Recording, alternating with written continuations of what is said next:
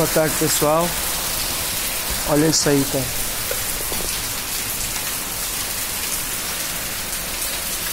De novo inundou aqui.